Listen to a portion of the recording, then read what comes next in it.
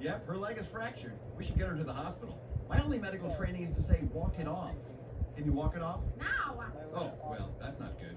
Okay, I'm gonna go fake use the phone in the dugout. Peter, what the hell got into you?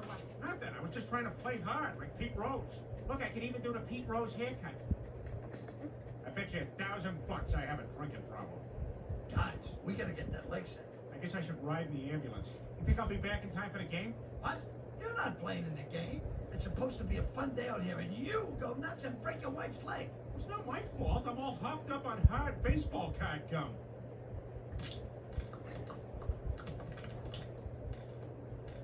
Mmm, like eating a MasterCard. Let's get her out of here. And you, you're done. Clean up your lock. Kicked out? I'm totally screwed. Like those poor guys who had to come up with a new ad campaign for Subway. Hey, I'm Mike. I like sandwiches and people my own age. Subway, please don't think of pedophilia.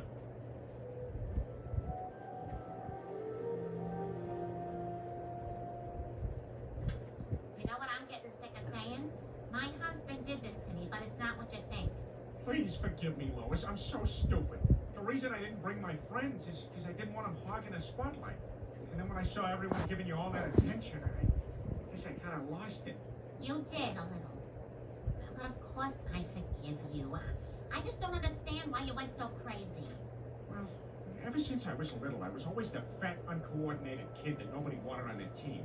And I was excited that for one weekend, if I could just step on that field and get a hit at Fenway Park, I could erase all that and feel like a champ for the first time in my life. But I'm not a champ. I'm a fat loser. No wonder nobody ever picked me. I picked you, Peter. And to me and our kids, you will always be a winner. Thanks, Lois. And you know what?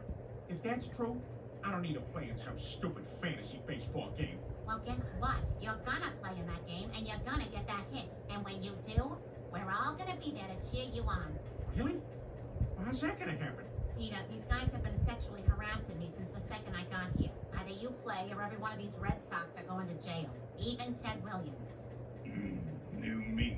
New me. I think we're gonna get along just fine. This is the number one fear of only being ahead.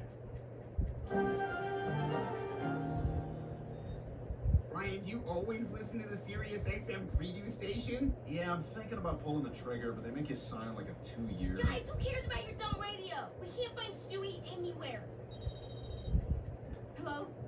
Oh, hi, Mom. Hi, honey. How you doing? How's Stewie?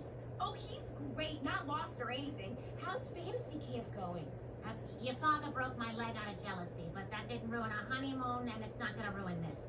So listen, I want all you guys to drive up to Boston this afternoon to see your father play in the big game. Uh, wow, we'd love to. Mom, but we promised Stewie we'd perform a puppet show for him later today. Oh, you can perform it for all of us up here in Boston. The game's in two hours. Drive safely. Crap. Now we gotta find Stewie and write a puppet show.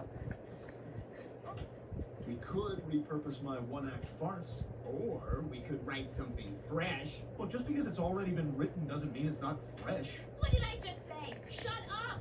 We're in trouble. I'm in trouble. Hey, what's this, a dickweed convention? Stewie! Oh, thank God you're home. Where the hell have you been? As far away from her as possible. I forgot her name, honestly. Who, Meg? Yes, yes,